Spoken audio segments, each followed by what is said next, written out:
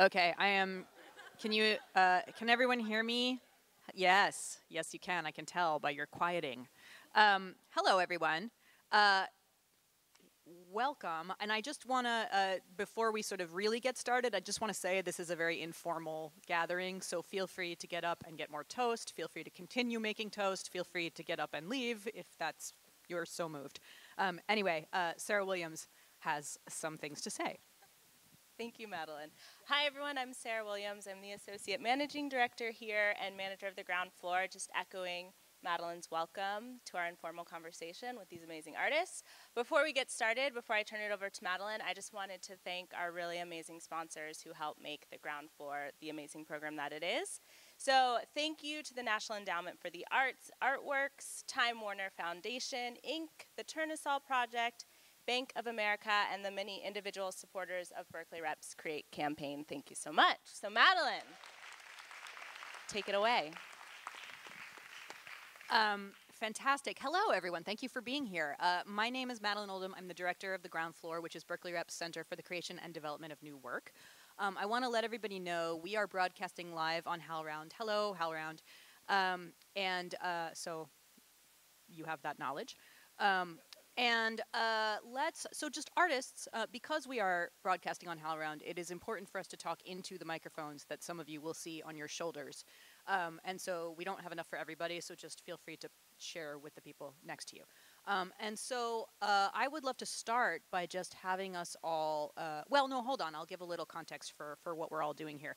Um, so this is our sixth annual summer residency lab.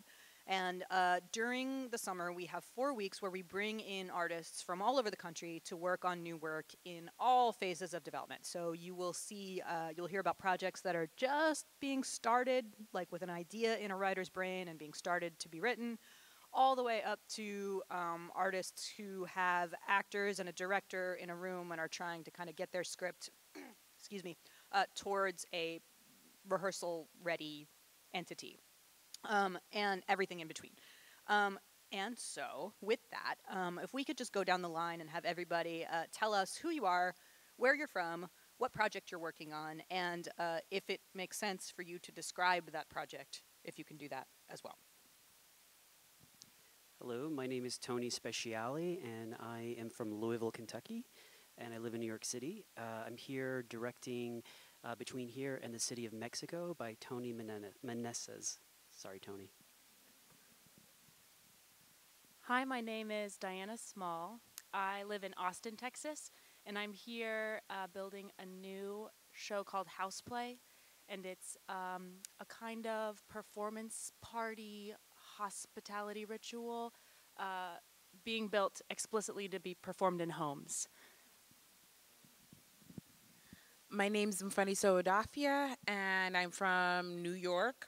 And that's, I mean, that's not true. I live in New York, and um, I'm here working on Adia and Clora Snatch Joy, which will end up being the ninth play in a nine play cycle. Um, I'm writing the end, and then we'll go in and fill in the three plays in the middle that are not written.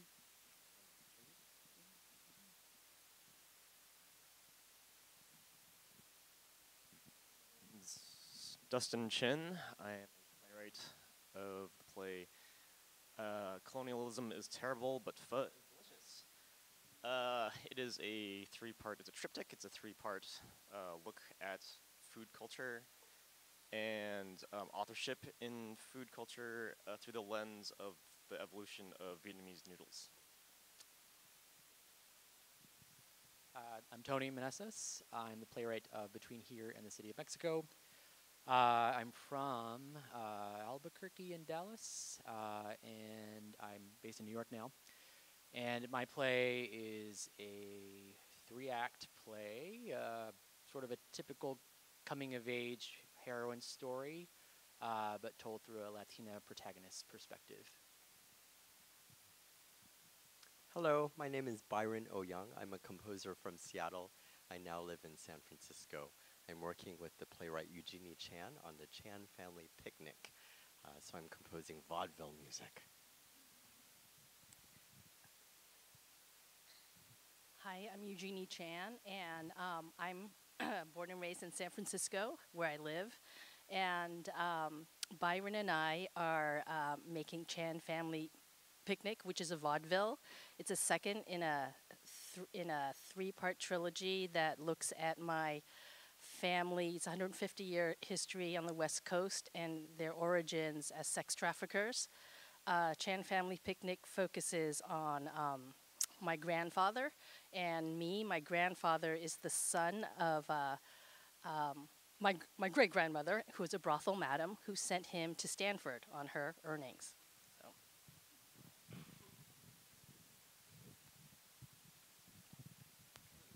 That one. Um, I'm Alex Harvey. I uh, am a filmmaker and director and musician in various entities.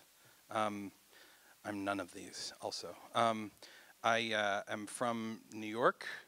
Well, live in New York, not from New York, and I'm working with my dear friend Glen on uh, the New Frontier, uh, which is, uh, well, I'll let him describe it.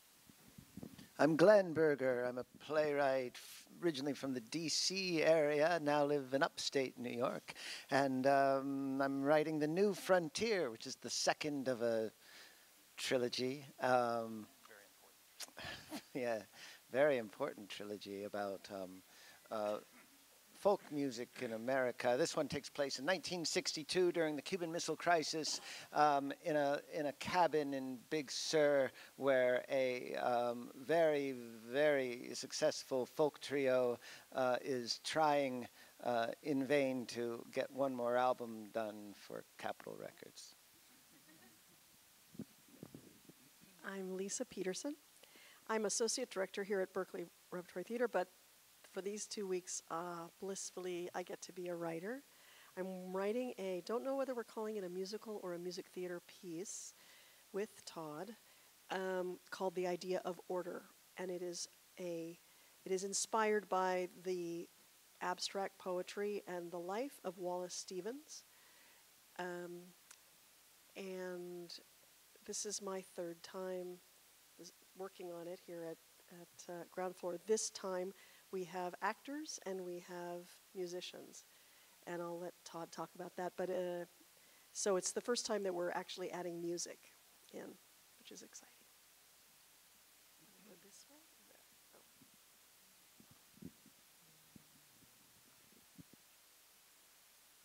Uh, I'm Todd Almond, and I am writing Idea of Order with Lisa. I'm the composer and um, co-writer of everything else. And uh, yeah, this year we have musicians and actors.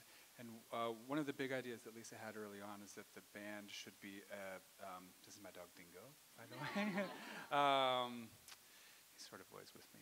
Uh, um, um, that we would have a brass quintet. And so that's been a major um, piece of the of the musical, and so we're lucky enough to have we had rehearsal with them this morning, and we have actors, and so uh, yeah, we're really we're digging in. So.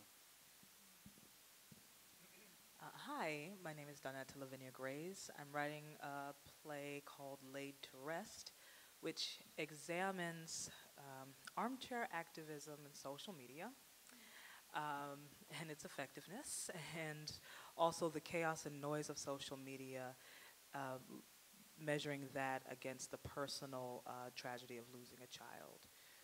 Yeah.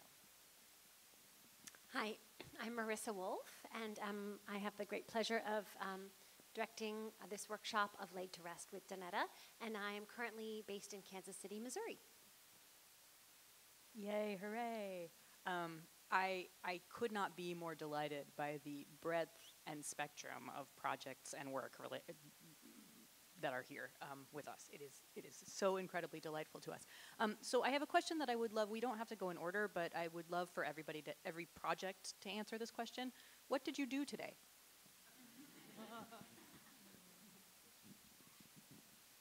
I can start. We had we start. We had band rehearsal this morning, so five brass musicians came in.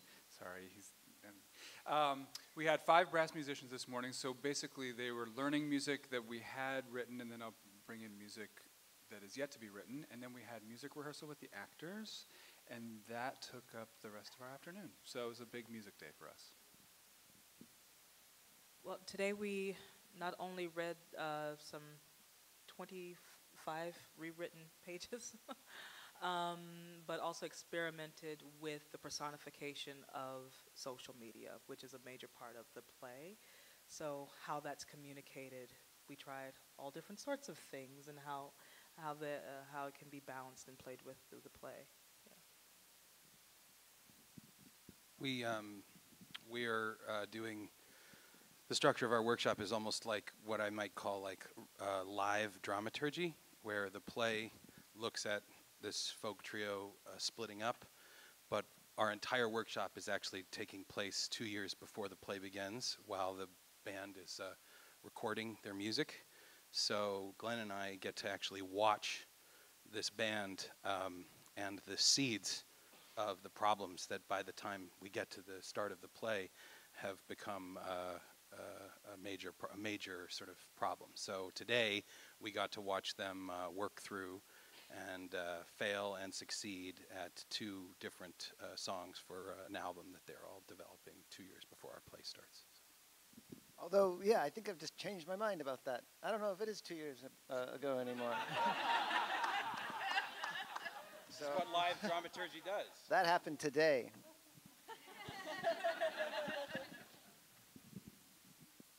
Uh, so Byron and I did different things today. Uh, I ran away from my collaborator and everyone and turned into a monk so I could write um, a new story storyline in, into the piece. But we saw you in the tea shop. You don't know this. That's where she was. Yeah, I was calling and texting, and her phone was in the room. I, I don't blame Eugenie because today was a lot of um, uh, playing through vaudeville music from the late 1800s, early 1900s. So such classics as Blinky Winky Chinatown and Chin Chin and yeah, a bunch of racist stuff. So yeah, so it's, it's really like, okay, dig deep, here we go. Oh, can I also say, we added a, an actor today who came in uh, from Utah, drove 16 hours to be at our rehearsal today.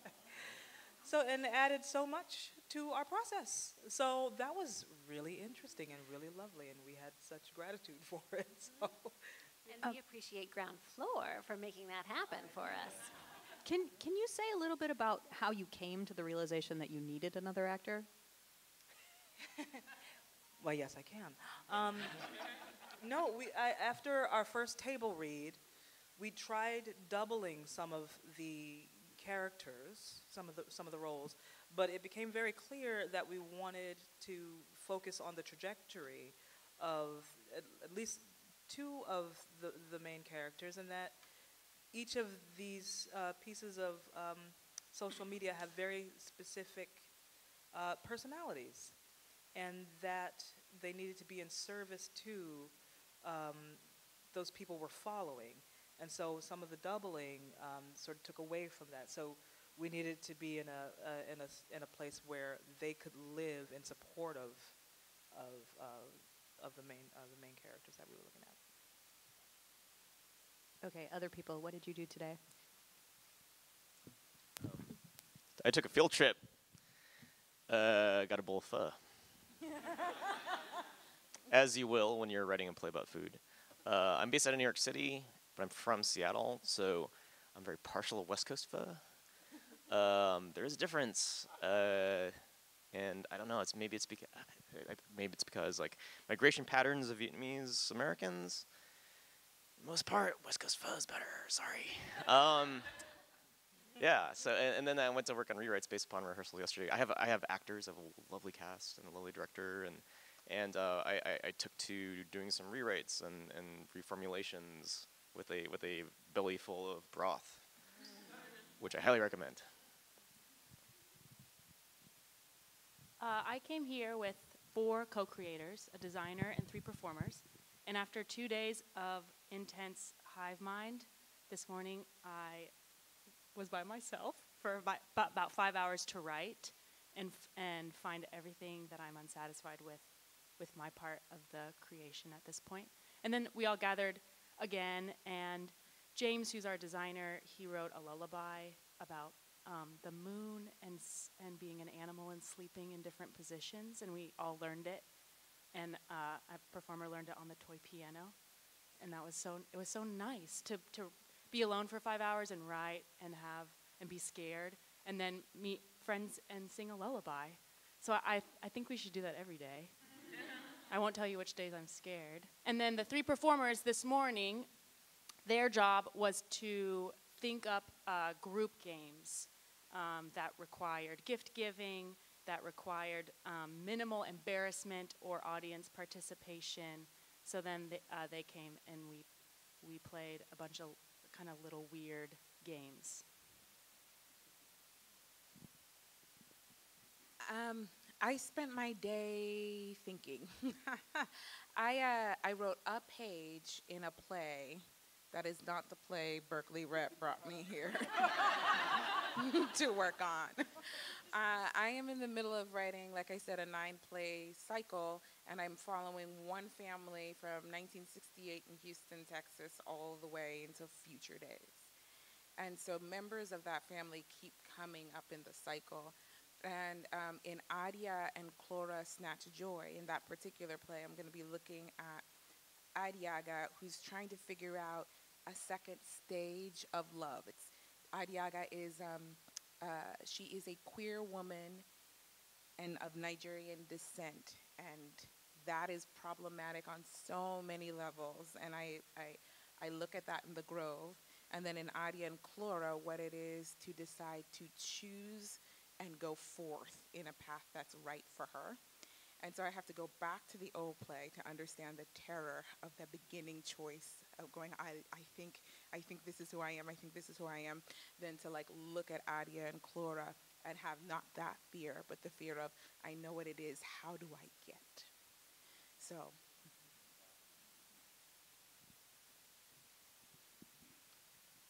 Uh, we spent five hours around the table with a wonderful cast uh, dissecting the script.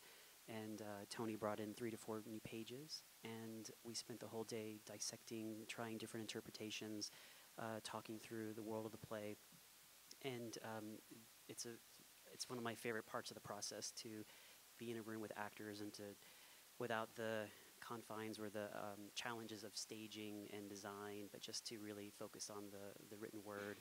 And uh, this play in particular is very different than anything I've ever worked on in the sense that um, is it okay to use the phrase that I feel like is so coined now with the play?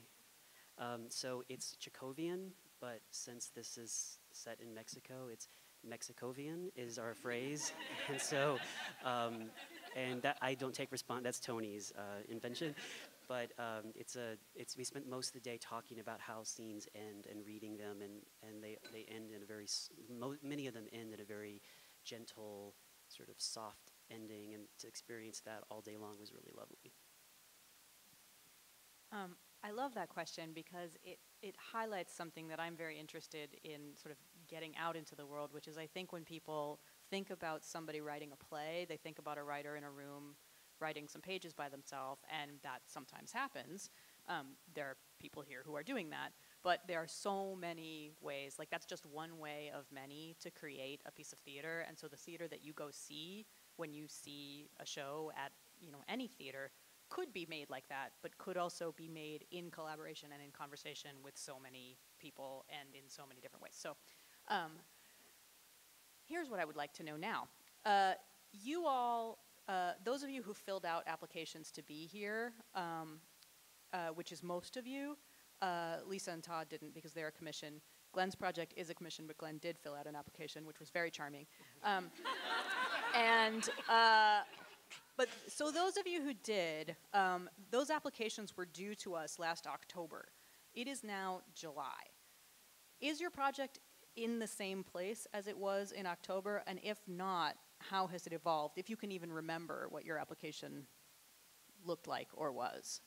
And I guess another way to ask that question is sort of is it maybe the question is just is it in the same place as when you applied? absolutely not. Um, I had a dream, and um, maybe ten pages. Um, like, like, like, and I was like flabbergasted when I got asked to interview with that. I was like, "Oh, you, you do that?" And Evan was like, yes. I'm like, wow, that's new.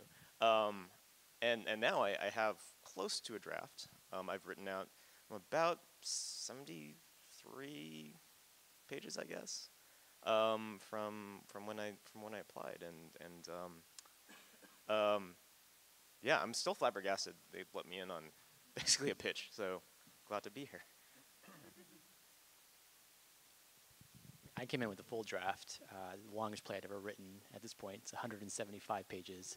So I just came in with this giant task to figure out the shape and the scope of it. I knew I wanted to be like a long, epic play. Uh, I just was fearing that no, it's like, no, this should be a 90 minute play. Uh, so, so far, I've not run into that conversation. Um, so I'm embracing the length and I'm embracing the ambition of this project because I think I'm at that point now as an artist where I just want to sort of write a big three act play and not be hesitant about it. Uh, and so far, the collaborators in the room have been very supportive of the structure of the play and the scenes. And uh, there's a lot of scenes in every act. So I thought like a good playwright writes like a 10 page scene. Some of my scenes are like a page. I'm like, this is hack work. I'm, I'm, I'm going to be found out. Um, so it's just nice to have. I think right now I'm in the self self-flagellating point of writing where I just keep asking my actors and director like, is this work? Is this okay? Is this all right? Uh, so we've had a lot of good conversations based on my insecurity and questions.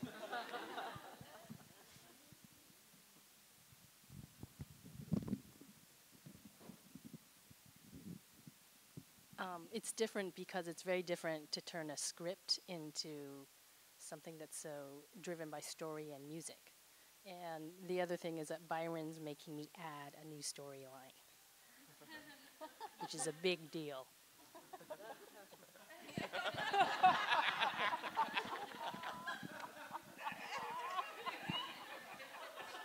Not really. It's a good Um, idea. It's a great idea.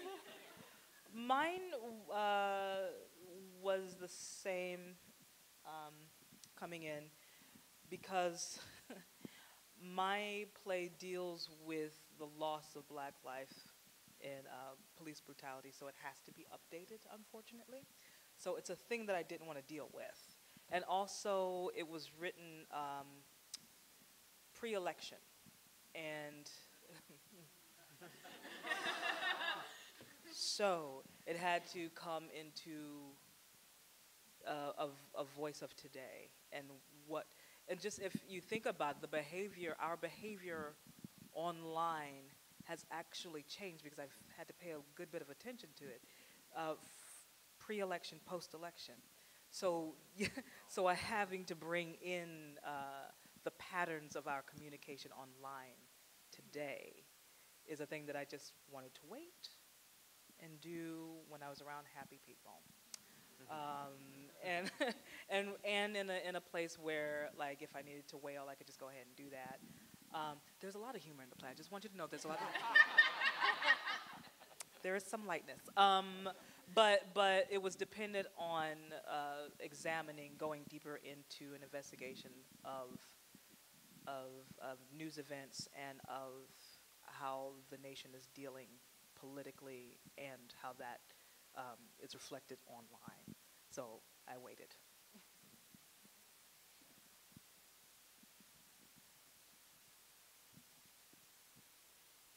I think when I applied, I applied with uh, an idea. I had no pages.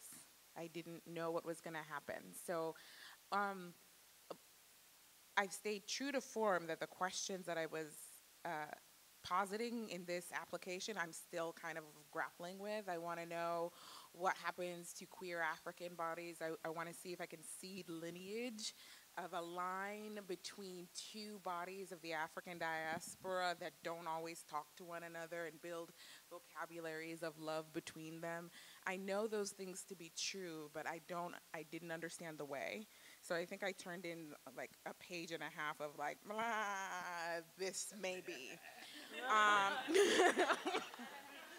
And um, when I got here, I had 50 pages of that blah down. It's not cohesive. It is scenelets and snatches of thought. So um, I think it's the same thing, but I still don't know.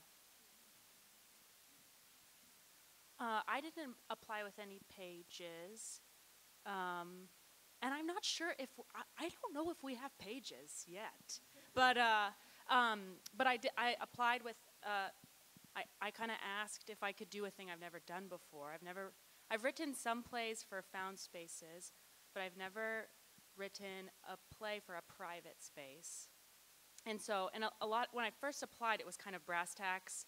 I produce a lot of my own work and tour it, and I was becoming frustrated that I could only show my work in spaces that had black box theaters, and I was frustrated with myself for having an imagination for black black box theaters. We did a, a play of mine called Mad and a Goat. That's a two-woman show, and a friend of mine named Gabby Reisman is producing this cool new theater project in Brooklyn called Brooklyn Yard, where she's doing new plays in backyards in Brooklyn. And we did that show in uh, a house in Brooklyn, and I was very excited to be there. And the play was great. It was not its best self because it was written for a black box.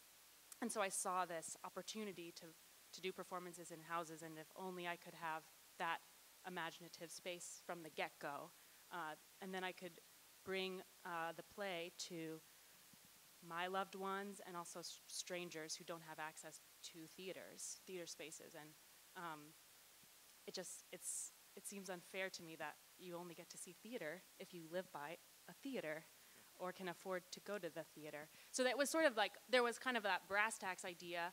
And then as the year progressed and I chewed more on the project, I've become much more invested in this sense of like, um, of the act of hospitality. What does it mean for somebody to host um, experimental live art in their home? What does it mean for, for me to be the stranger in a community asking for hospitality? Um, so the questions have got to have feel more reverent. Um, the like producer brain brass tack stuff is like less of a concern, and it's been really fun to um, like almost get more spiritual with the project.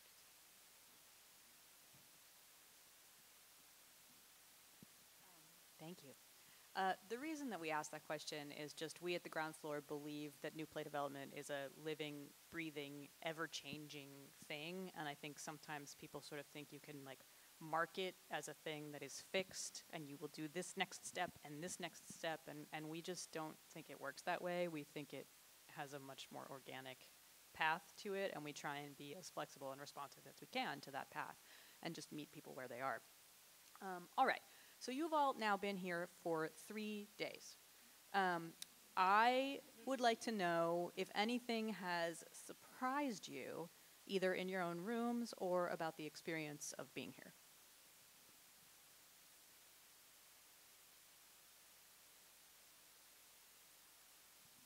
I have stumped you all.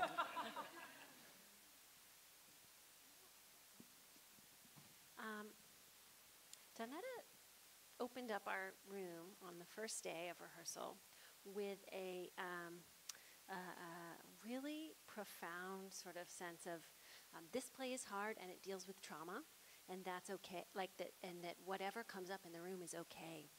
And that set the, the tone and the stage for the day um, in a way that i haven't experienced in a four hour chunk on the first day of a rehearsal of any project before. it was uh, um, really powerful. A lot of times when you read a play around the table together for the first time, um, you know, it can be nerve wracking, and everyone is like, you know, uh, should I be at this table, and, and, and where are we going to go with this? And um, uh, but this felt like I felt um, uh, very privileged to um, sit next to Donnetta, be witness to the journey of the play, and um, and uh, it felt like I was surprised by the journey that the room went on with the play in sitting with um, how hard the devastation that uh, the play kind of exposes. So I wasn't surprised by the devastation, I was surprised by allowing it into the room.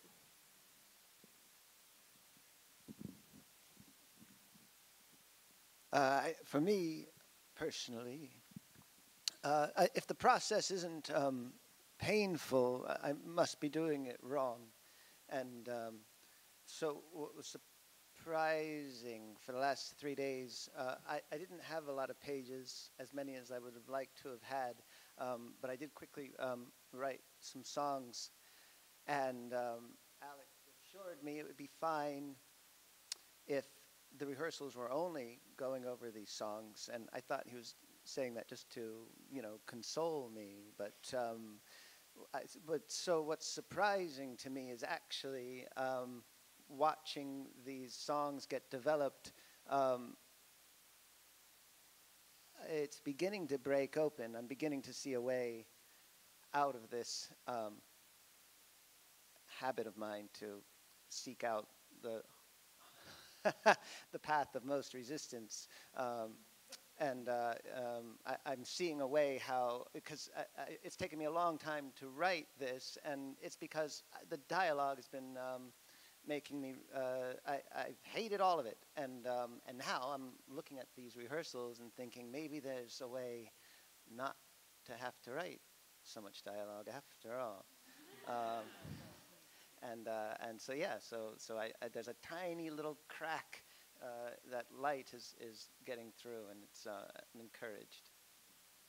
Yeah, just to like throw a little context around that, it's just uh, you know I think I, am like a big proponent in um, in bringing in things adjacent to the play.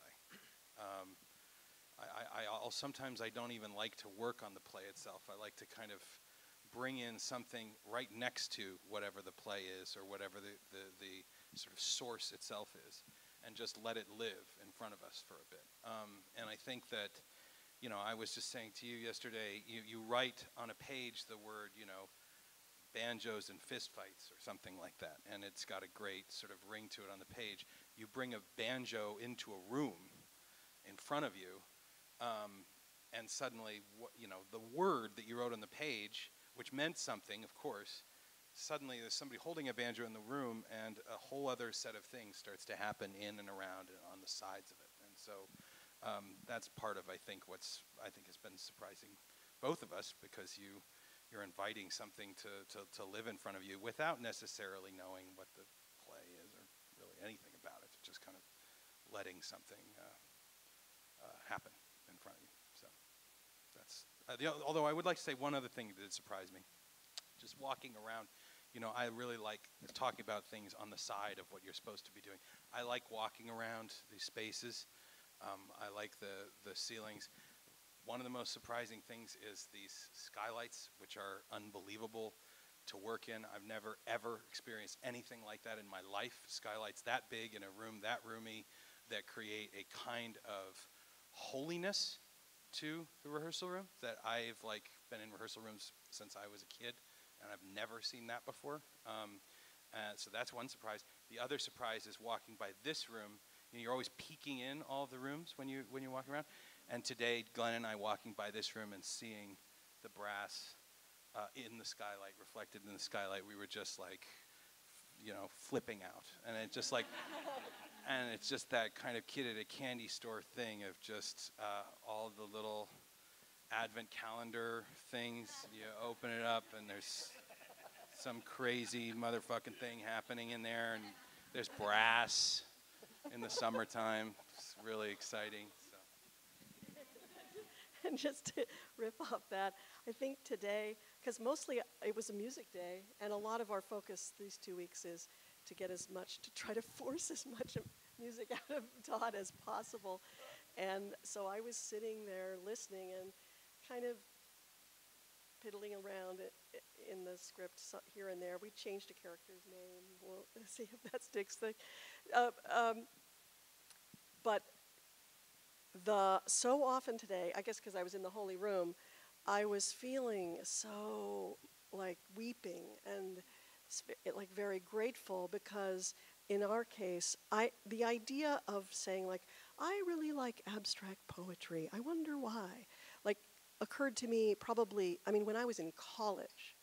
So this I call it like a back pocket idea. Like I've been have walking around in my life with this like I think uh, there might be some for years and years and years and not doing it, not doing it, not doing it. And, um, you know, a year ago, we sat on the floor in the Tony Kushner room and we kind of like, what? We just like threw together this draft, trying to write intuitively, which isn't comfortable for me, but, but um, to, to hear today something that started like really long ago and was just, you know, awkward words, embarrassing to me, trying to kind of write, uh, put myself in it, and today something became a song, and and sometimes in these a song then had a harmonic line, and the and the lifting of a melody and a harmonic line. Uh, I mean, even beyond the brass, which is amazing, but is just so miraculous.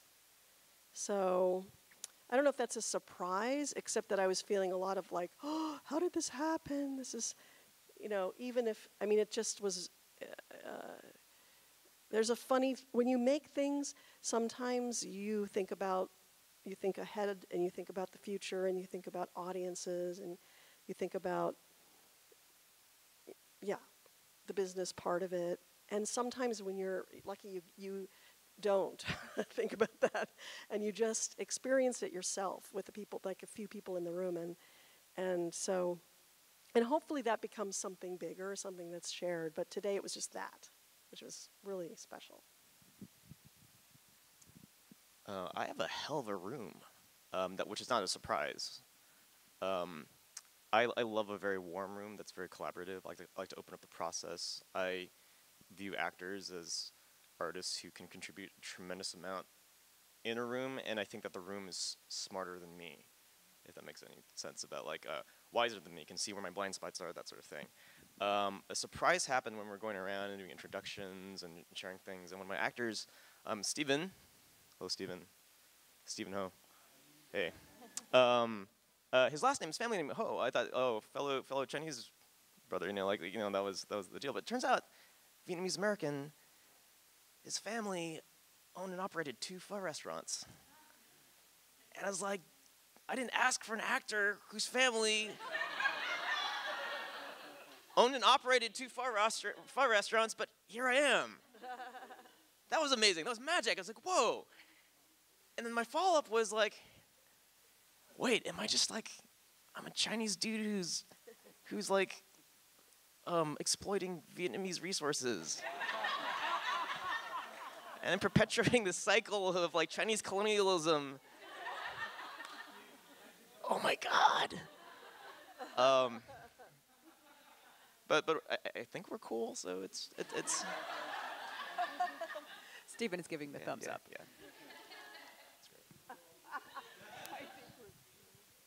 So as a composer, I, I am lucky to do some theater workshops.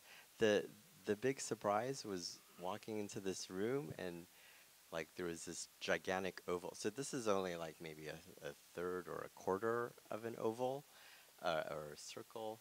Um, but then all the seats filled. I'm like, who are all these people? And the spa- this is a working space. It's like Berkeley Rep, rehearsal spaces, shop spaces. Like this is one big room. There are many other big rooms.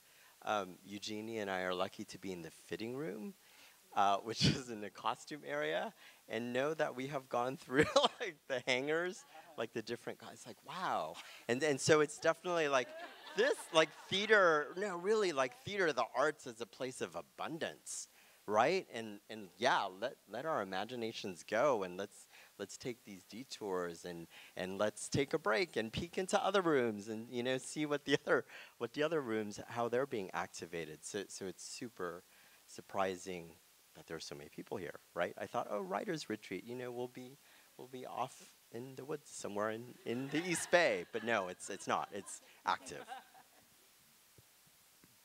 Yes, we, we tend. Oh, yeah. I um I came to a realization that made me like sh- shake. I'm still I still have that little shaking feeling. Um, since two I haven't written a play that terrified me since 2011 or so, when I wrote Run Boy Run, and I gained 20 pounds in a year, um, just because I was like, eat, fill, I'm bleeding on pages. Um, and I think, yeah, well, yeah, very dramatic. Uh, I I think I'm in the middle of a process like that right now. It's like there's there's always like the personal cost of writing, and then there's like the macro level. Like one of my missions is to write nuanced bodies so West Africans can see themselves represented well on the American stage. This is a play that's gonna piss them all off.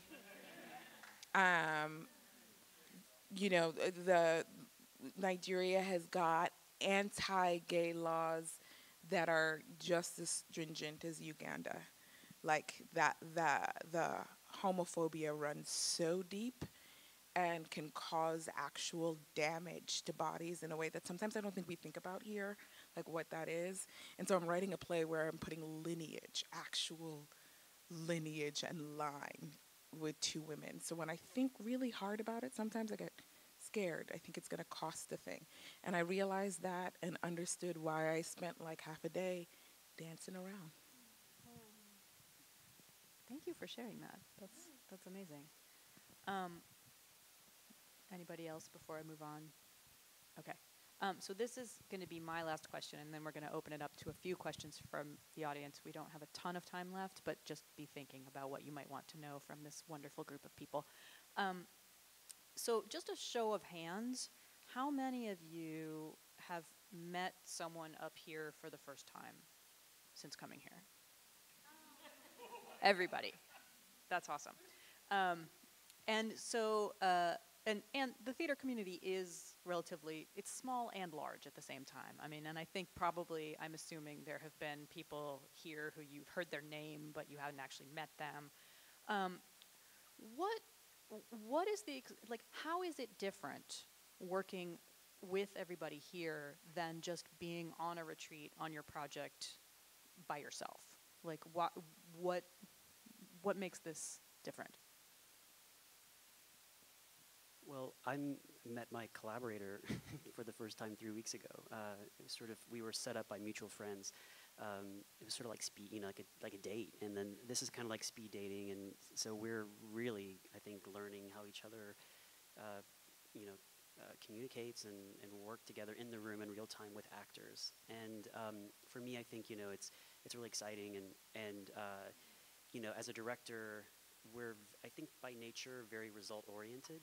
we we see the finish line and we sort of uh, at least I'll speak for myself. I work backwards, and there's always a, a, a, a part of me that as we get close to tech that like clicks in and I'm like, okay, this is where I, I have to get stuff done. this is where like results matter and, and there's a whole other side of me that is triggered and it's really um, great in this sort of environment to uh, meet someone for the first, a new collaborator, uh, to be faced with a play I, uh, I've never, a type of play I've never worked on before.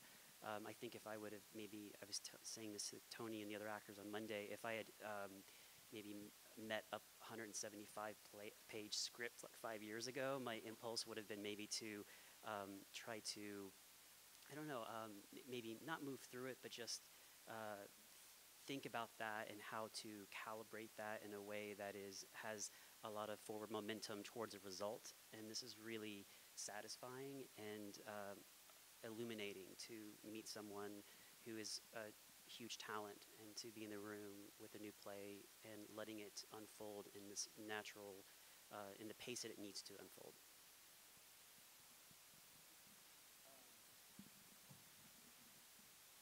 I think as writers and artists, we're always very inspired by what other artists and writers are doing, and you know, most writers are readers, and most musicians are, most composers are listeners of music. And there was something I had never experienced before, but when that giant circle that we were talking about, um, when every when all of the writers were talking about their pieces, it was it, I I was so inspired by every single project. Like Mfoniso was talking about her plays, and I thought, to see all nine of those plays. And then Dustin was talking about his play. I'm like, I cannot wait to see Dustin's plays. And Tony and Eugenie and Glen and Donnetta and every it, it was like it it made you like want to get into your room and make the best thing because you thought I am surrounded by people who are taking this very seriously, who are here because they want to be here. It's not easy to be a writer. It's not easy to like, you know, to like to give up a lot of comfort to like chase this thing that you feel like is important and to be surrounded by people that aren't um, casual about it and who are uh, dedicating their lives to it. It was really inspiring, and I'm re- still really inspired sitting up here. And so that was, um, that I think is the joy of being around other writers.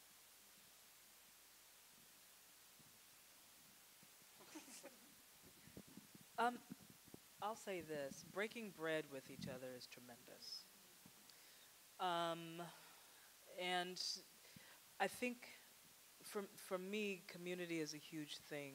Um, in in all the work that I do, it's it, to have a place to be is really extraordinary, and know that after you know six hours or whatever in your day, you're going to come here and break bread with people and check in with someone. So there's a place to land if your work is you didn't have a great day, you you had a wonderful day, you want to share it, but to really look into someone else's eyes and like uh, sit down and, and and just chat with them about how the day went is a, is a huge deal. Um, so you aren't sort of suffering on your own, you know, and there is that click of of um, inspiration that'll come from some what you'd imagine it would be a, a casual conversation, but oh, wait a minute, that's how people talk. oh, I can put that. I can put that in a play. you know, I can do that. I can do that.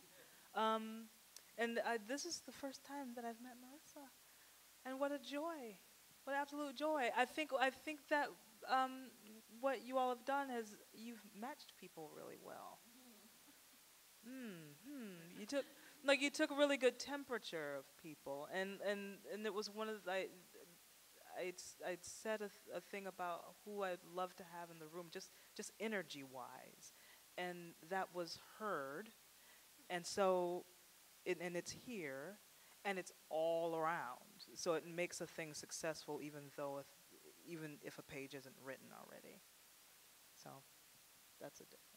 Thank you. That's lovely. Um, I just want to, uh, for people who don't, who might not know this, um, the structure of what happens here is that we, uh, everybody sort of arrives in the morning and disperses to their separate rooms and works and works and works all day, and then at six o'clock we all gather to eat dinner together, and so that's what breaking bread together actually means. Um, yeah. I found too the breaking bread portion to be such good dramaturgical work. After having a day accrue and it's overwhelming and there's a lot of information, and then sitting next to someone and they ask you what you did that day, and you get the opportunity to try to uh, like sift it down, and also you're breaking bread, so you you get to approach it from a place of gratitude, and then and so there's been so so many helpful realizations I've made, getting to talk about the day in a way that's polite and in a way in a way that is clear like clear and efficient and um, also knowing like i'm sitting next to a person that understands what i'm doing that knows how to talk about theater that um, is a is a playwright and shares a kind of brain um, is is really good for I, th- I think for how i then take i figure out what my next day is going to be. I just also, I mean, not to sound like an asshole, but I, I just, I don't, I, I have never seen isolation, the kind that you're talking about in another kind of like a MacDowell type situation. I've just seen it work so rarely in all of my friends who, who do this work, including novelists that I know. I mean, it's, um, except for the dinners there. You know, I mean, I, I- just, I think that collision, uh, I mean, I wouldn't even do it. I, I remember I'd done a couple of those before in the deep, deep past, and uh, I just um, sitting in seclusion with a writer or a collaborator or a co-writer or something. It just, I, it's, I don't know. For me, and that may just be my own attention deficit, you know, obviously, but I just, I, I can't imagine uh, going to work on something again without uh, a real collision of entities. And in fact, I, the best thing about this kind of program is the opportunity to obstruct that very thing. Uh, I, I, work completely with obstruction. That's basically the only way I've ever worked in any of the forms that I've worked in, and um, and it's much much harder to obstruct things when you're sitting alone in a cabin with either yourself which is the I mean maybe that is the obstruction. I mean I could get very zen about that, but but I but I think I think that uh, I think that like yeah throwing human beings in the same room and and not to like continue to be um, an advertisement for this thing, but I, I, have to say that the strange thing is is like they have been uh, you know Madeleine has basically has never every single thing we asked for was there and and those things included like you know bringing a recordist out from New York to engineer recordings on a reel-to-reel recorder as a part of dramaturgy. I mean, you know, that's that's like that's just a wonderful obstruction to the the danger of becoming isolated and getting stuck inside of your head. You know, so I, I hope that uh, HowlRound or whoever that the other residencies, the other residencies, uh, keep this in mind because I, I, really think it's it's hard for things to be productive without people literally uh, crashing into each other. Um, uh, as many as possible, uh, with as much velocity as you can. Hadron Collider style is sort of the way to, to do that, I think. Amazing. Um, so uh, we're going to open it up. We have time for just a couple of questions from the audience, and I'll just let you all know I'm going to repeat the question for HowlRound because they won't be able to hear the audience. Um, so does anybody have a question for this uh, delightful gathering of people? Yes.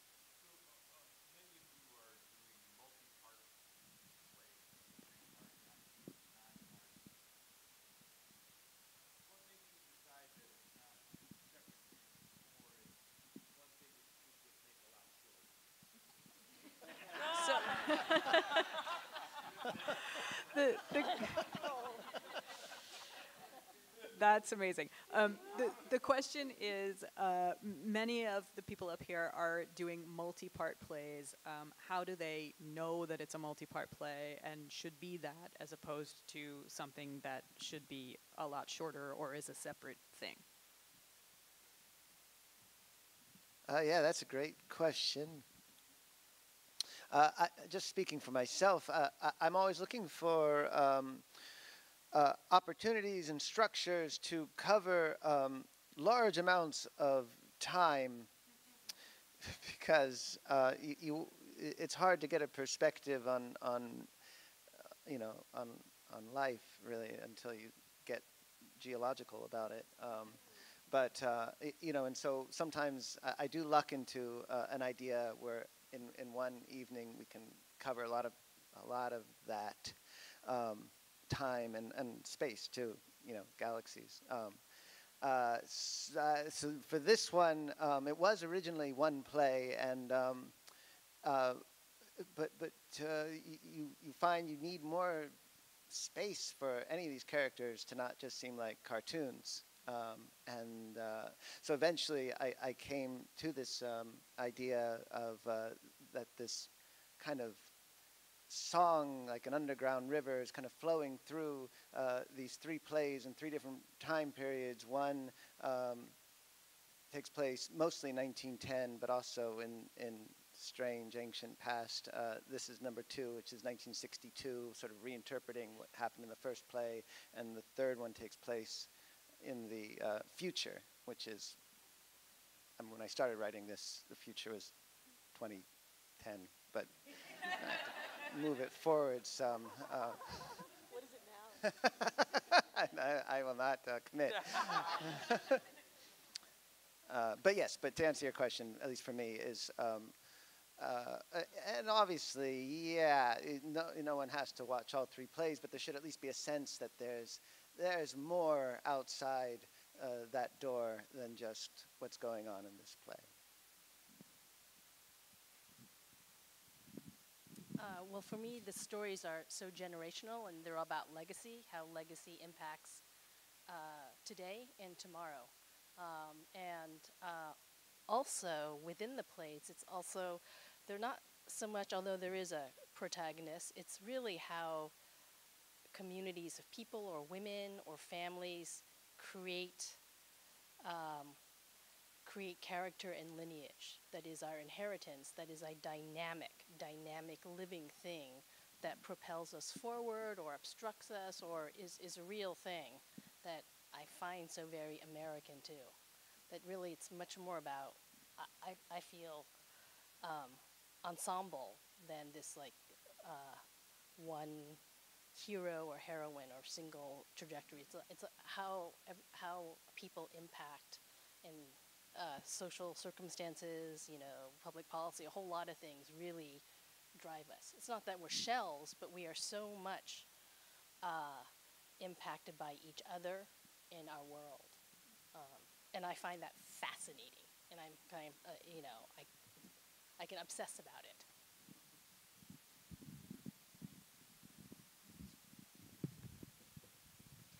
Um, I think the first part of your question too was how do you do it? I think I heard that as well. did I hear that too? How do I know? Okay, how do you know that they're separate? Um, when I first started, I I first wrote the growth. It was one, and I thought I was done, and then the characters started bleeding outside, which I think you know people have said a permutation of that that thing, and then I discovered when you're tracking one family when they come here in 1978 the way they interface with America is different, and then they have children, and their relationship to America all of a sudden has to change. And then their children start like growing up, and their relationship to America has to change from there. And then their kids' relationship to America, they have to start identifying and grappling with in relation to their parents.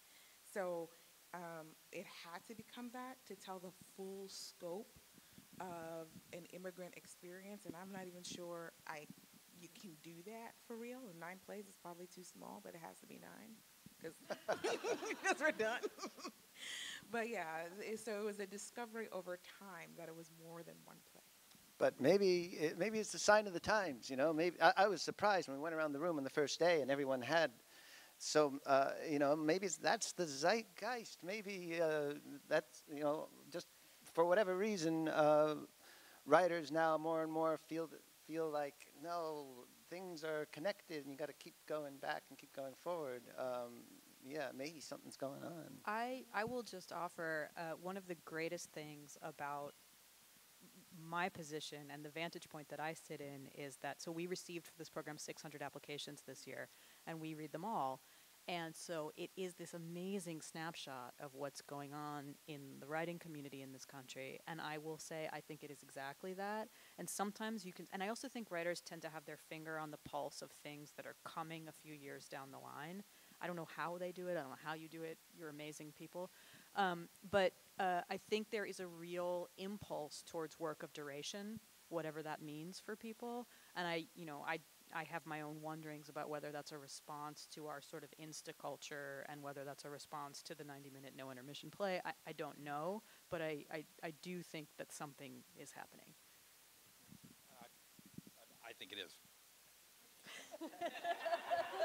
I think it is. I, I, I think uh, I, I, I don't even have wonderings, wonderings about it. I think it. Uh, I think that the thing that you're going to find in the next 10 years, 15, 20 years, is you're going to find a real desire for durational experience design. And I think that um, our entire field may start to shift towards that on many different levels. Um, and yes, I believe it is a uh, it is a uh, rebellion against the uh, the truncating of, of the attention.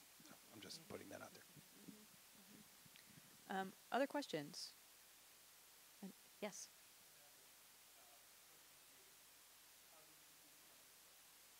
Ah, the question is to me, and how did I do the final selection? Oh boy. Um, it's very, very hard. And I will say, out of those 600 applications, we had 175 projects make it to the next round. And uh, we asked for 175 work samples. We read them all. And we, uh, we then kind of whittled down from there to about, I would say, 70 to 75 projects that really just for whatever reason grabbed us. But that's still far more than one can accommodate in a situation like this. Um, and then it was really, I- and I, I genuinely believe, and this is not a commentary on who is up here, I, those projects in my mind are interchangeable. They are that exciting, and we're so excited about everybody that's sitting here, but we're equally as excited about the people we didn't invite. There's so much amazing work being made in the American theater right now. It's incredibly, incredibly exciting. Um, and the way that things just sort of shake down is we tend to have to start plugging people into spaces. And this is where we get out our matrix and we get out our budget and we get out our everything and try and kind of wrestle a thing into shape that, um, as I mentioned earlier, accounts for a really broad spectrum of work um, in as big a definition as you can come up with for that broad spectrum of work. Um, we want to make sure that you know things are in a different state of development. We want to make sure that you know, and so we just kind of look at a map um, and figure it out. And and you know, a lot of it is dictated by how much space we have. I mean, as Eugenie mentioned and Byron mentioned, we're we sort of tend to like we're in the conference room, we're in the fitting room. If we're if they're not painting, we take over the paint deck. I mean, we we fit ourselves wherever anyone will let us. We're in offices. People are giving up their offices and working from home for a month. It's amazing. Um, so uh, yeah, but that's it's vague, but that's sort of the best that I can answer. um, okay, we have time for one last question. Does anybody uh, have anything else that they're wondering about? No? You are all satiated. Oh, two hands. Who wins? Who's burning? Who's burning? You're not. Okay. Yes. Yes, that's you.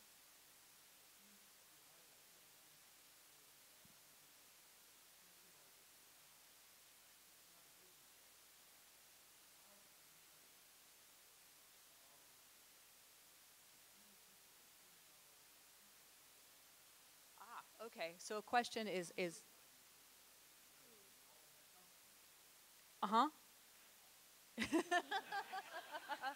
so we're having a variation on an earlier question where we asked the show of hands of how many people didn't know somebody and how many people met somebody for the first time. The question is, okay, let's go deeper into that. How many of you, show of hands, knew less than half the people? Is that everybody? That is. Wow. Although, can I add a little caveat that as a new works person myself, I knew almo- the names of almost everyone here, and so I was like, "Oh my gosh, we get to be in the same place."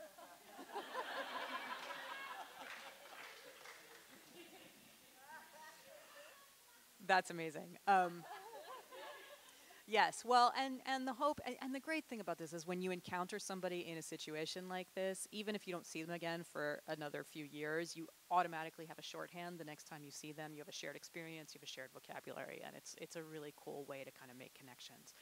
Um, well, I want to say uh, that is all the time we have for today. Thank you for being such a great audience. Thank you, everyone, for your time and generosity and being here, and enjoy your evening.